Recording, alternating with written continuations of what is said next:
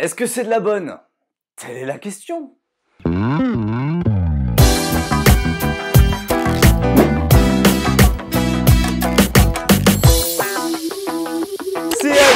C'est Romain. Aujourd'hui, je vais te parler de Hollywood, une nouvelle série française labellisée OCS Signature, au même titre que Irresponsable, Mission ou encore Les Grands, et tu sais que c'est souvent signe d'un gage de qualité. Créée par Arthur Benzaken, Lionel Dutemple et Dave Cohen, cette première saison est composée de 12 épisodes de 26 minutes et est diffusée à partir du 21 décembre 2017 sur OCS Max et disponible en intégralité sur OCS Go. Aujourd'hui, avec le sérigraphe, je vais te parler des deux premiers épisodes que j'ai pu voir et du coup, je vais te dire ce que j'en ai pensé. La série plante son décor sur une petite île isolée au large de la Bretagne. L'économie du village ne va pas fort au moment où 25 tonnes de marijuana s'échouent sur la plage. Quoi de mieux du coup pour renflouer les caisses? Lorsque j'ai commencé à m'intéresser un peu plus aux séries françaises et que j'ai découvert OCS, j'ai presque immédiatement été conquis par leurs propositions en matière de création originale. Avec son label signature, OCS ose et propose des séries un peu plus de niche mais qui semble laisser une grande place à la créativité de ses créateurs, et en plus, nombreuses sont celles qui ont été récompensées lors de festivals pour leur qualité. Il y a eu du très bon et du moins bon, et je partais vraiment confiant avant mon visionnage de Hollywood,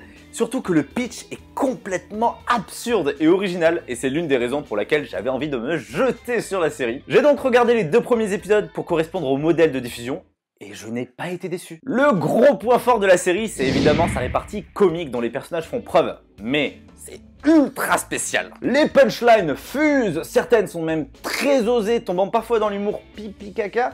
Il y a des moments de gêne pour accentuer la cocasserie de la situation.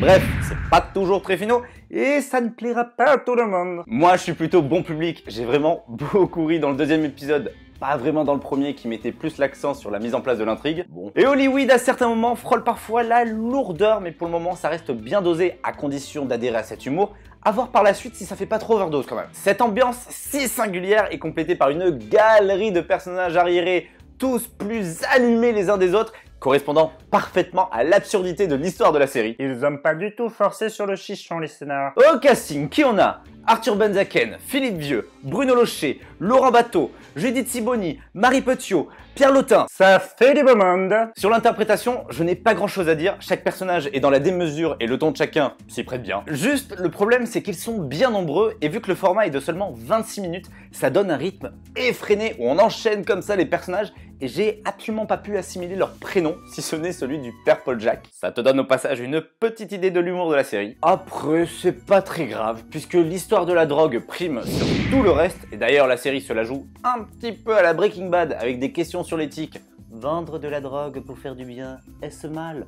Bon, je te rassure de suite, ça dure 2 secondes et demie. Je pense que c'était vraiment une des volontés des créateurs d'installer le plus rapidement possible les intrigues.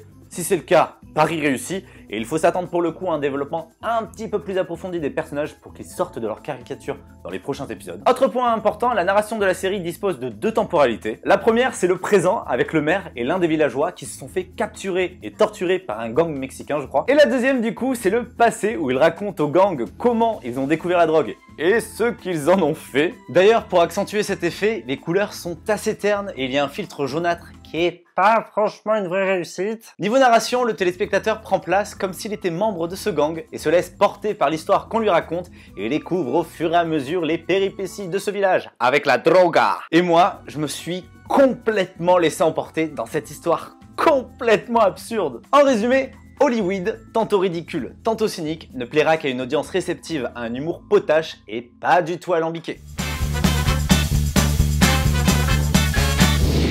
Cette vidéo est maintenant terminée. J'espère qu'elle t'a plu. Si c'est le cas, n'hésite pas à mettre un petit pouce vers les cieux, ça me ferait vraiment super plaisir. Si tu as regardé cette vidéo et que tu ne connaissais pas du tout la série, ben dis-moi si je t'ai donné envie de regarder ou pas. Marque-moi tout ça dans les petits commentaires, comme ça on va pouvoir interagir ensemble. Et si tu as vu la série, ben dis-moi ce que tu en as pensé, là, juste en bas. Si tu n'as toujours pas rejoint la Team Roro, il te reste qu'une seule chose à faire, appuie sur le petit bouton abonné là juste en dessous et rejoins une bande de sériphiles passionnés sur YouTube. Et quant à moi, je te dis à bientôt pour une nouvelle vidéo. Allez, Salut.